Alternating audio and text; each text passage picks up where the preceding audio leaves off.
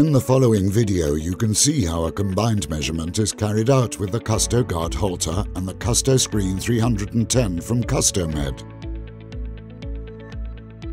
First, prepare the patient for the measurement. Make sure the patient's chest is free of hair and other debris. Then connect the CustoGuard Holter to the Custo diagnostic software.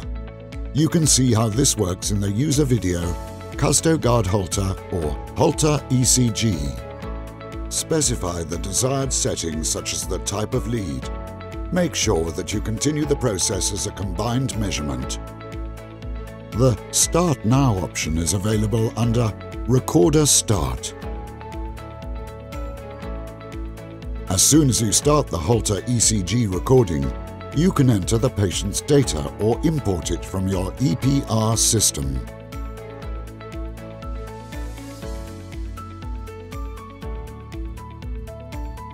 In addition, a patient diary is printed and the software automatically switches to Ambulatory Blood Pressure Monitoring, ABPM.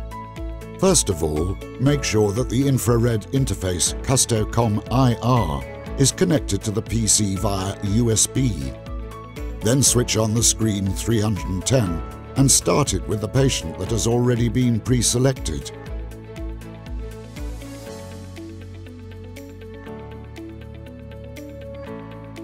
If the screen 310 has been successfully started, the screen for monitoring the Holter ECG will open. Next, attach the selected lead to the guard Holter and protect it with the Custo Clean Hygiene bag. In this video, you can see the application with Custo Wing. Now, Place the CustoGuard Holter on the patient and check the ECG quality.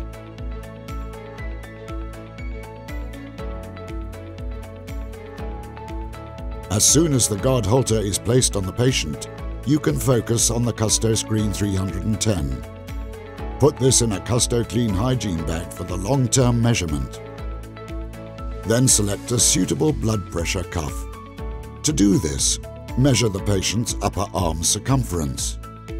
Cuffs are available in the sizes small, standard, X large and XX large. Before you put the cuff on the patient, you can optionally use a screen protect. Place the blood pressure cuff on the left upper arm, 2 to 3 centimeters above the crook of the arm. The marking must be on the brachial artery and the cuff must be neither too tight nor too loose.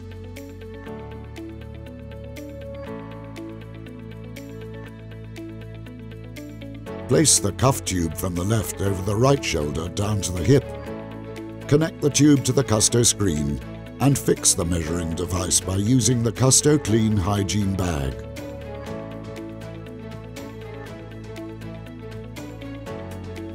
Then carry out a test measurement. It is important that the patient remains still. If the measurement is incorrect, improve the fit of the cuff and the tube and check the connection to the device.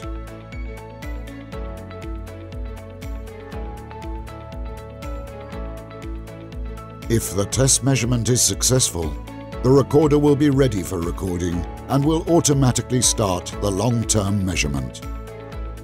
You can now explain the patient diary to the patient. For later evaluation, it is important that the diary entries are made correctly. Also instruct the patient not to bend the tube.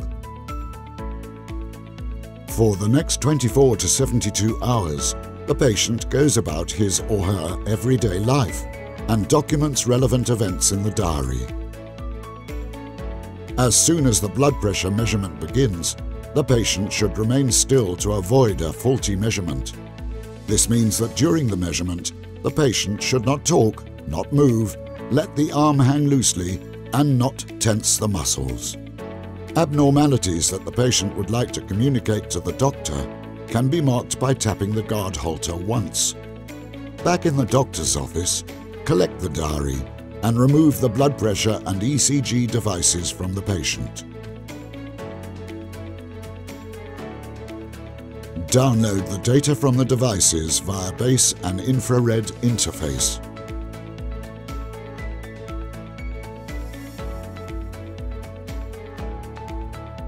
Under Options, you can switch from Holter ECG to ambulatory blood pressure monitoring. As soon as the patient has left the doctor's office, clean the devices with a disinfectant wipe.